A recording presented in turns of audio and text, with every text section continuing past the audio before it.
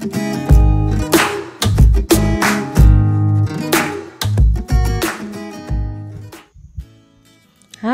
assalamualaikum semuanya. Jumpa lagi di channel saya. Kali ini saya mau bikin puding susu mozaik. Ini bahan-bahannya ada agar-agar swallow yang plain atau tanpa rasa. Dan ini ada nutrijel yang kecil. Ini uh, saya pakai 3 sendok makan gula pasir dan ini air 1 liter. Dan ini ada beberapa pewarna yang saya punya di rumah. Ini kebetulan saya punya lima warna. Oke eh, kita langsung mulai aja tahap yang pertama. Ini saya akan masak dulu. Agar-agarnya sama nutrijelnya langsung dicampur aja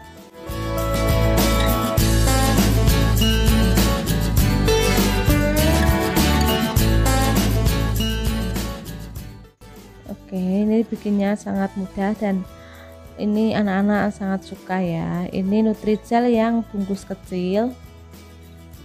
Ini Nutrijelnya rasa leci.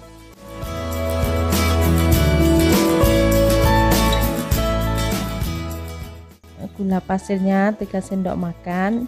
Ini memang enggak terlalu enggak uh, terlalu manis jadi manisnya hanya sedikit aja. Ini 1 liter air.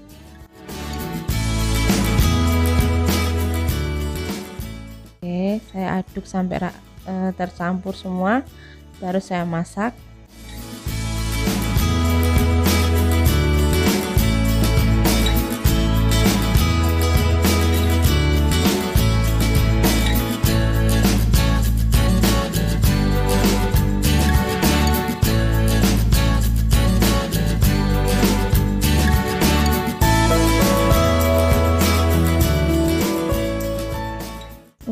sudah mendidih.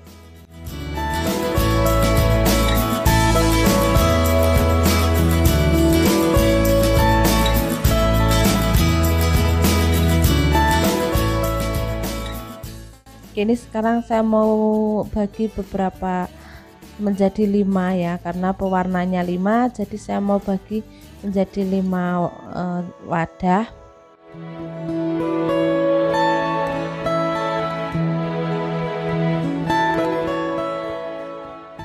jadi saya gunakan warna yang udah saya punya aja. Jadi kalau uh, kalian semua mau bikin di rumah silahkan warna yang mungkin udah ada. Ini warna biru ya yang pertama. Warnanya sedikit aja.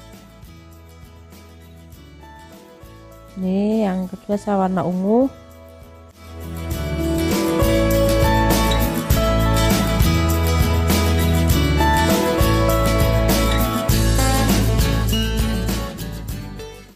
yang ini warna uh, kuning atau ini agak oranye ya. Yang ini warna hijau.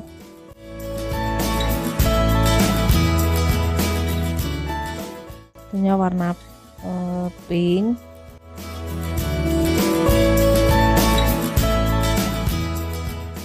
Oke saya eh, ini mau saya uh, apa diamkan dulu supaya dingin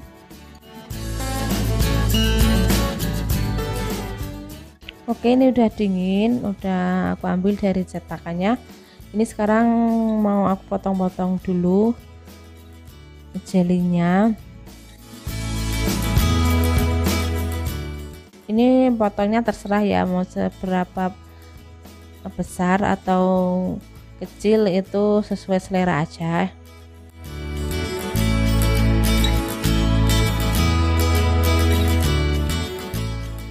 Oke, sambil saya lanjutkan videonya, jangan lupa ya, yang belum subscribe bisa bantu subscribe, like, and share-nya, dan aktifkan juga tanda loncengnya supaya tidak ketinggalan video-video terbaru dari saya.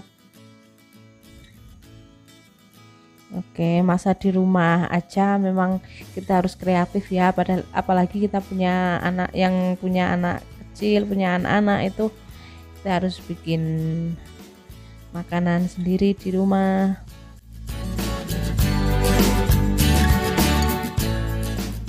Oke ini udah. Oke ini saya sisihkan terlebih dahulu. Sekarang saya untuk yang kedua. Ini hmm, sama kayak tadi agar-agar sama Nutrijel dan ini susunya 250 ml uh, gula pasirnya 4 sendok makan dan ini maizena 2 sendok makan.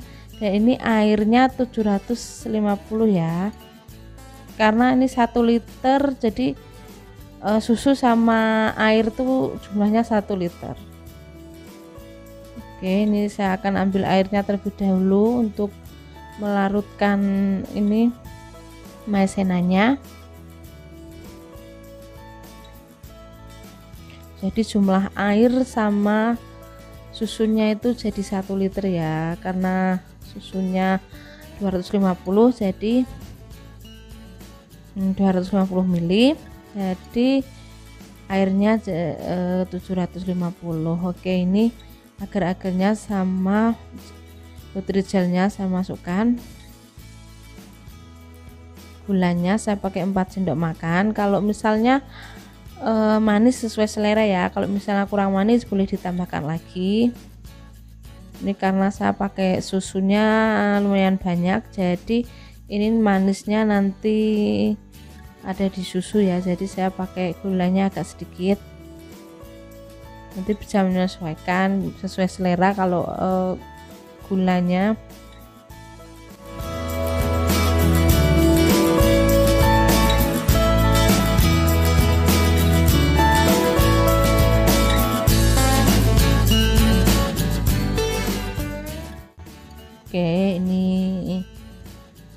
agar-agar yang kedua mau dimasak terlebih dahulu.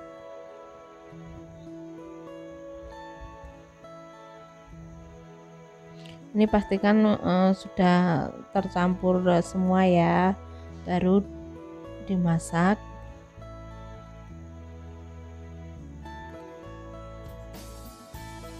Oke ini maizenanya nanti kalau udah mendidih baru saya masukkan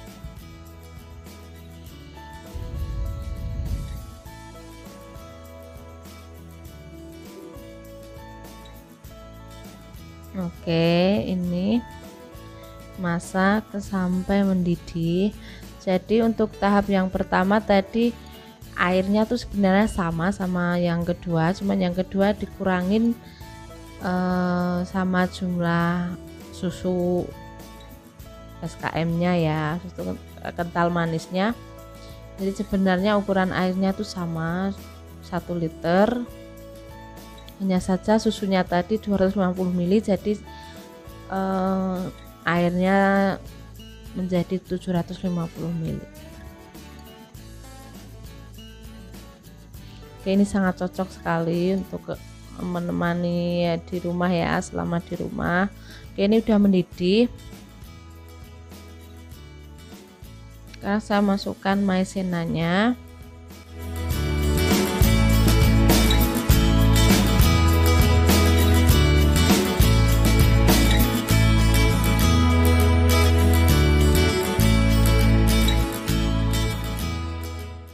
Oke, ini saya sudah siapkan e, beberapa cetakan ya untuk puding untuk pudingnya. Ini karena cetakan saya agak e, kurang besar, jadi saya pakai dua mungkin cukup. Oke, ini pertama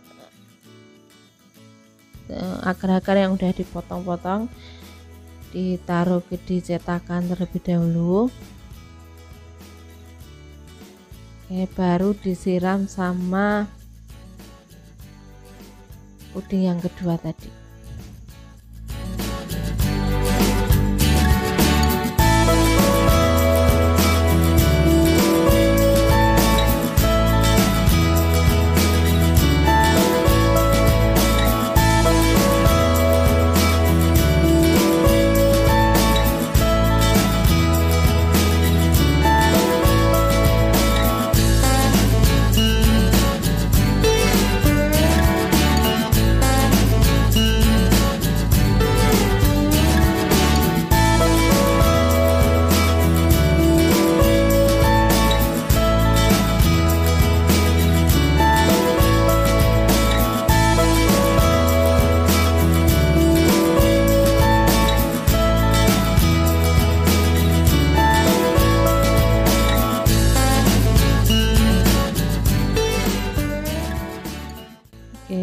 Sekarang saya eh, masukkan lagi potongan jelinya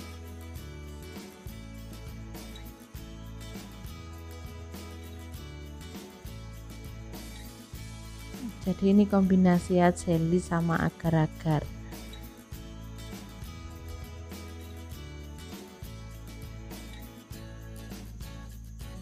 Oke saya siram lagi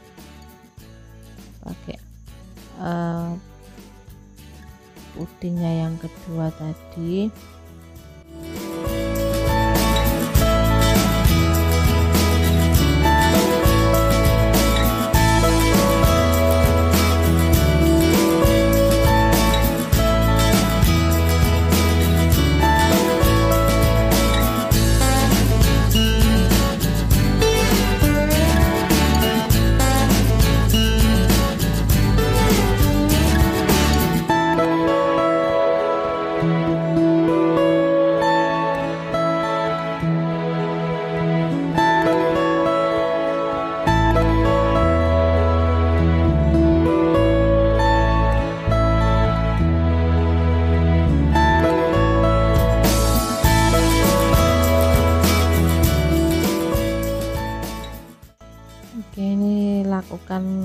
ini lagi sampai uh, potongan jelinya habis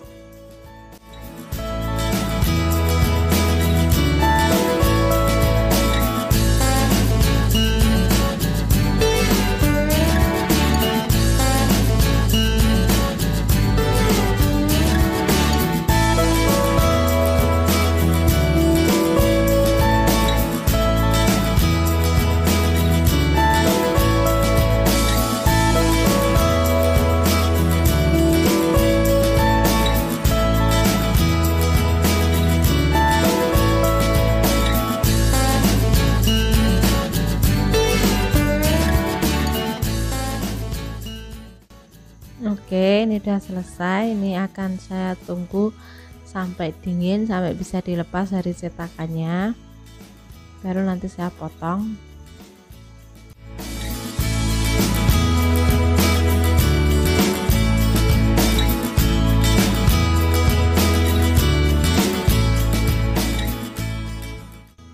Oke ini sudah dingin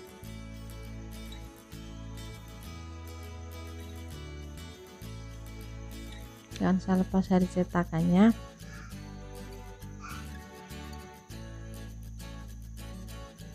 Oke coba kita potong ya. Udah jadi warnanya cantik warna-warni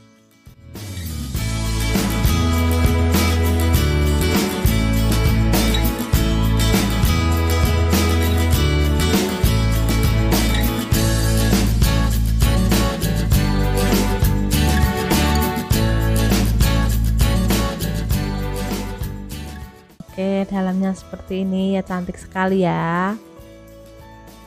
Oke, bagi yang mau coba di rumah silahkan. Silahkan selalu berkreasi di rumah ya. Dan terima kasih juga yang selalu menonton video saya dari awal sampai akhir. Semoga bermanfaat. Dan sampai jumpa lagi di video-video saya selanjutnya. Bye bye.